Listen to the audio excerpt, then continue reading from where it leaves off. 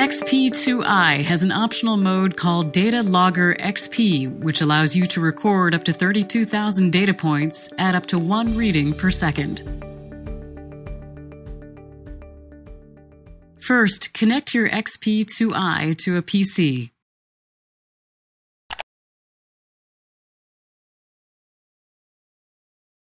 Then select the logging interval. The logging interval is the amount of time between readings. The fastest logging interval you can choose is one reading per second. Next, choose the logging type.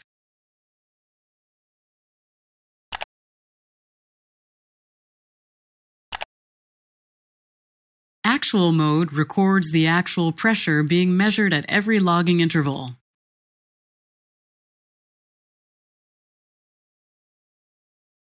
Average mode works as follows. Data Logger XP will record data at the logging interval you've selected. The XP2i updates at 4 readings per second. So average mode will record the average of all the readings taken between logging intervals. Average with peaks will record the average between the logging intervals, just like average mode. But it also records the highest and the lowest readings that occur between logging intervals.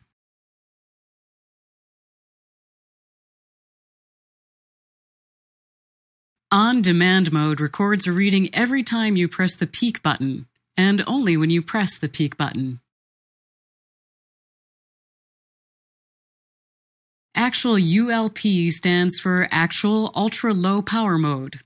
Actual ULP records the actual pressure being measured at every logging interval, just like actual mode. But in addition, ultra low power mode maximizes the battery life of your XP2i, allowing you to record continuously for up to one year on one set of batteries. Once you've set the logging parameters, click Send to Gauge. You can then disconnect from the software. Before you begin a recording, you need to ensure that you are in recording mode. In order to switch to recording mode, press the peak button repeatedly until the REC icon illuminates.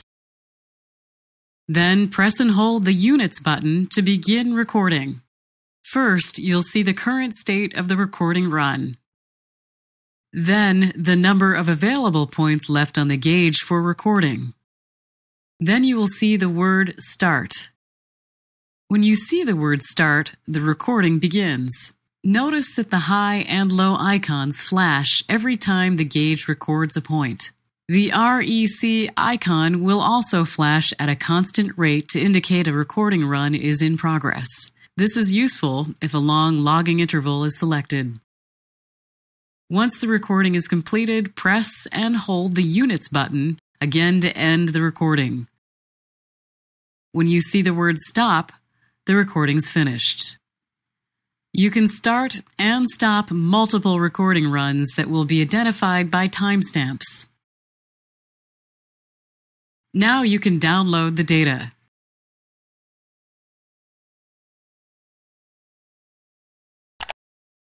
Click Download.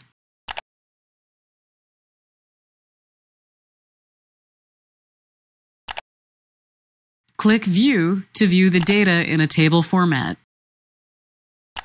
Select the data you would like to save.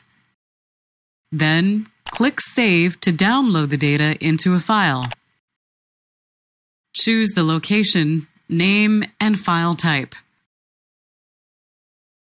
You can choose from an Excel workbook or a CSV file. The resulting Excel file contains two tabs. The first tab has the gauge information, run info, and a graph of the pressure data. The second tab contains the raw data itself.